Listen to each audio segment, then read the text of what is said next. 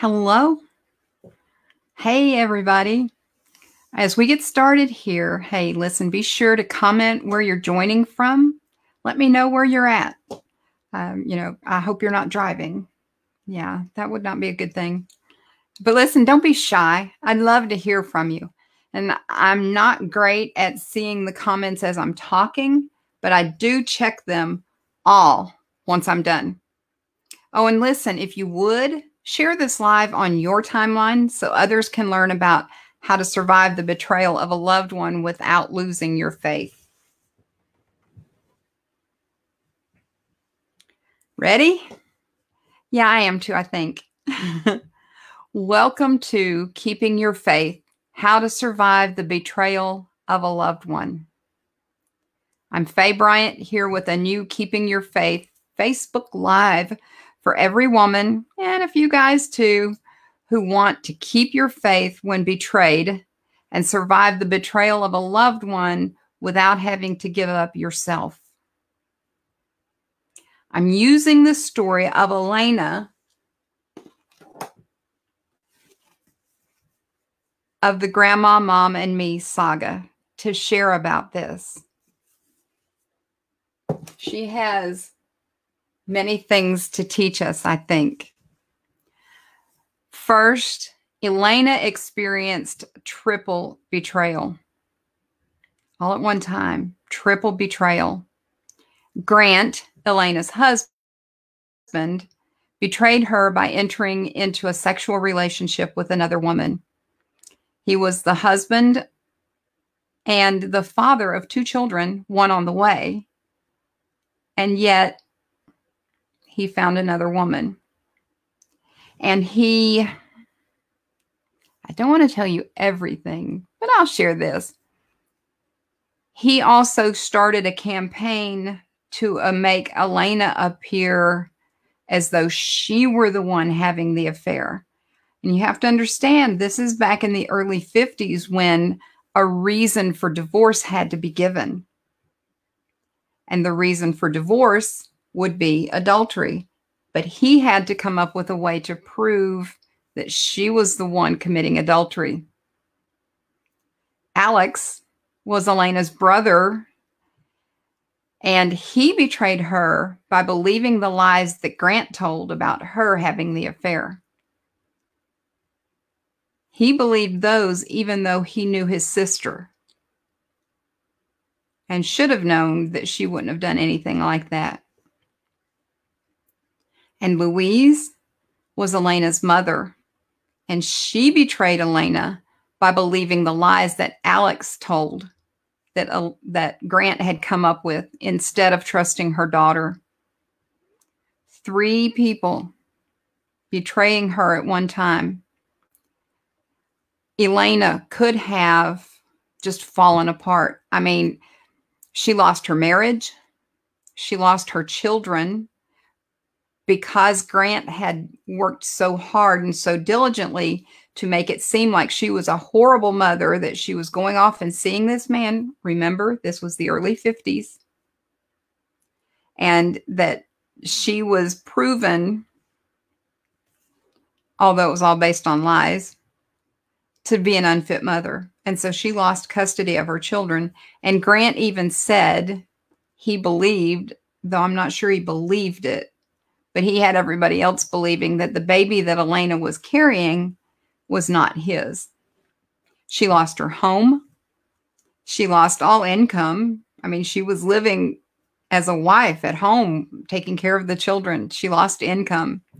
She lost her mother, her brother, her sisters. They were younger. She lost them because her mother didn't want them having anything to do with her. She lost her self esteem, her confidence, everything. Her life changed drastically. She could have lost her faith. She could have just said, Well, God, you allowed all this to happen. And maybe she did to a degree. Yet she knew that He was there. She knew. Ephesians 2 8 says, God saved you by his grace when you believed. And you can't take credit for this. It is a gift from God.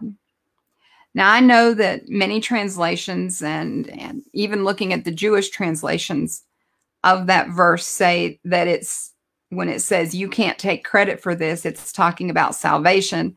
And I agree, salvation is is likely the the part of that verse. But I also think that when this verse says it is a gift from God, I think God is saying the faith itself is a gift from Him. It's hard to conjure up faith. I mean, faith, he, Hebrews 1 11 1 says, faith shows the reality of what we hope for. It is the evidence of things we cannot see. We don't do that on our own. We just don't. And I have a friend, if I can get it to come up here, who uh, just posted a few minutes ago. His name is Tony Colson. He's a pastor over in South Carolina. And he said, Fear is the imagination of the past, faith is the vision of the future. Faith says, I'm not seeing it, I'm not living it right now, but I will be. Elaina was looking at the worst possible outcome. She was living it. In the book, you learn that she went and found a job. She had her baby, even though it was denied by her husband, it was his. The child was his. She was very fortunate to find a restaurant uh, owned by this Greek couple who gave her a place not only to work, but gave her a place to live. Elaina realized that that didn't just happen. That was God doing that for her.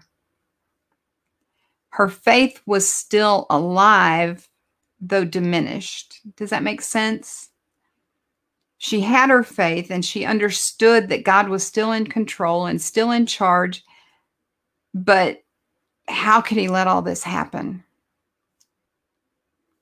See, faith is not really a Pollyanna view of life. We're not just looking at it saying, oh, everything will be better, everything will be fine. It's really a real view of life, a real view of our circumstances based on God's perspective. And He sees everything, not just the part that we see. He sees everything. So we're not just going along, la, la, la, la, la, la, la we're going along with a clear vision of what is reality based on God's perspective. Oh, isn't that much better than looking at what we've got and thinking that it's the end? It's this worst is the end. Elaina chose to keep putting one foot in front of the other because she believed that the betrayal she experienced was not the end for her.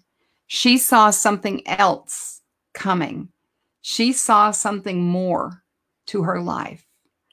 See, at the time that this happened, she was just 26 years old. Hard to think that the rest of your life could be better after this devastating happening. But Elaina chose to believe that. She had the, the chance to go to Florida to work, to hopefully make a living, and to get away from this place where she was living where she couldn't even visit her children. There's so much pain, so much hurt that she decided to leave. There's so much more to that story. I'm just not going to go into all of it. I could sit here and tell you the whole thing. We'd be here a while. But Elaina chose to keep putting one foot in front of the other. She kept doing that. She kept doing that. And for a time, she did make some less than optimum choices. She didn't always choose well in that point in her life. But in time, she was right back on track, walking and growing in her faith and leading her daughter in that kind of faith. See, and the result of her continuing to put that one foot in front of the other was renewed relationships with her mother and her brother, restored relationships with her children and her grandchildren, and a husband who loved her and cherished her for almost 60 years. See, she went ahead and lived. So often, especially in times like we're living right now, we think that life itself has betrayed us. We think the government has betrayed us. Pastors have betrayed us. Family members have betrayed us. We think that life is never going to be normal or even worth living again. Faith tells us that's not true. Faith tells us it's just not true.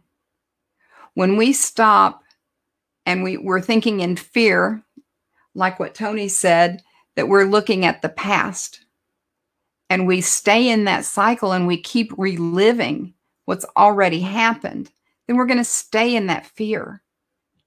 But if we will look with faith and we will look ahead and, well, even looking at our present circumstances from the viewpoint of God, things start changing.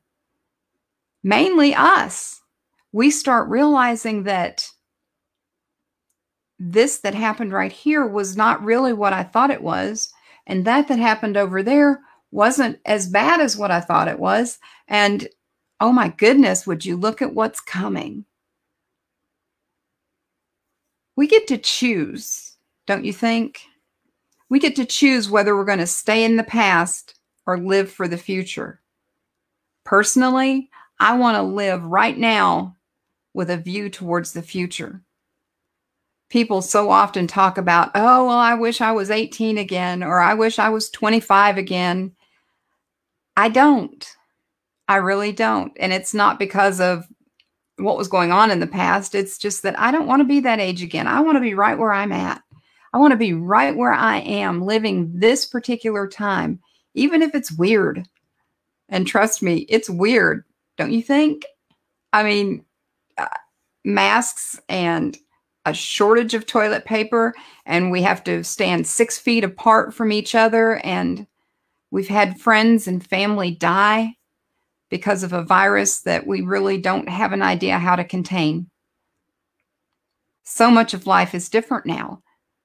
But the fact is, as believers, we don't have to fear it. We don't when we look at the life we're living right now, when we look at the COVID 19 situation from God's perspective, we can realize that we can and we must keep on living.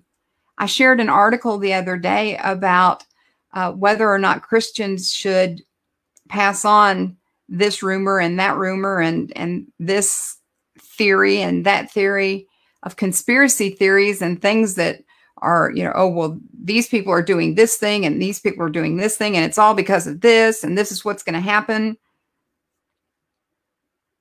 Honestly, and the article said this very succinctly and numerous times, we who are believers need to be sharing our faith with others. If we are living in such a time that the circumstances are dire, we need to be sharing the love of Christ, the touch of Christ.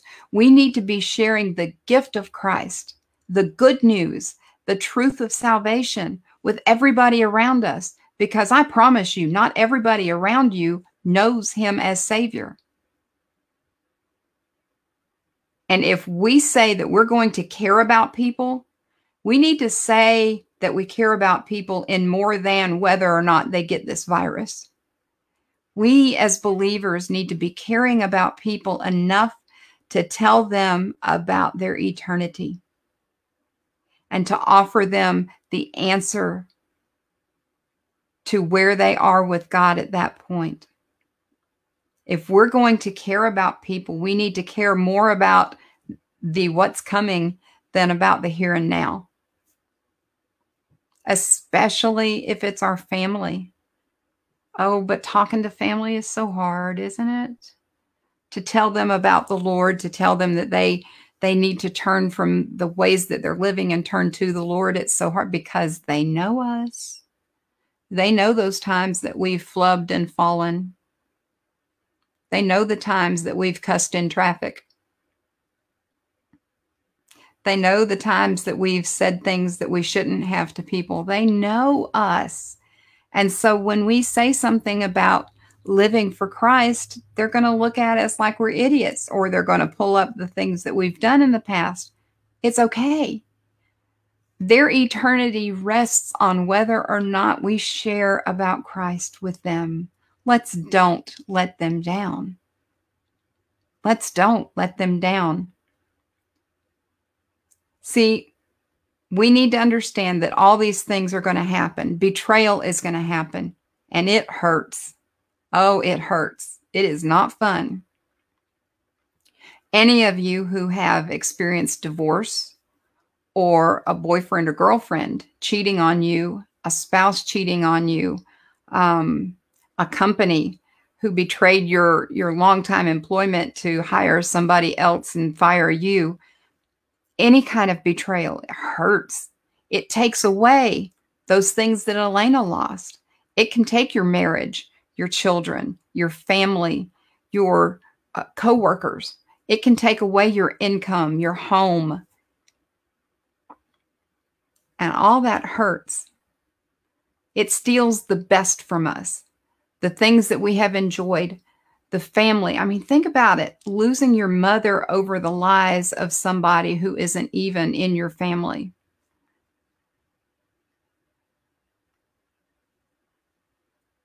How do you survive that?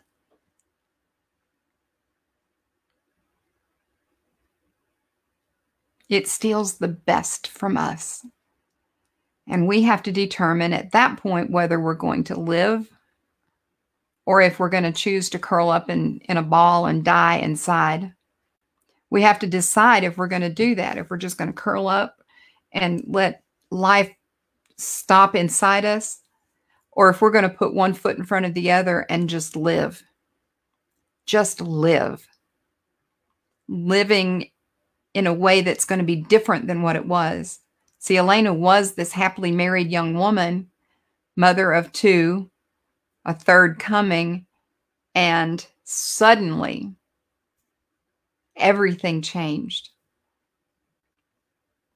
She could have just curled up in a ball. She could have ended up on the streets in Detroit and just stopped living. She could have she could have done any number of things to just stop living and thriving, but she chose that instead she was going to get a job that would support her and her new daughter. And when that being so close to her other two children was more than she could handle, she made the tough choice of leaving her daughter with that couple to go and find a place where she could make a better life for herself and her daughter. Everything changed, but she chose to live. She chose to love again. She chose to marry again. She chose to return to her faith that was never really gone.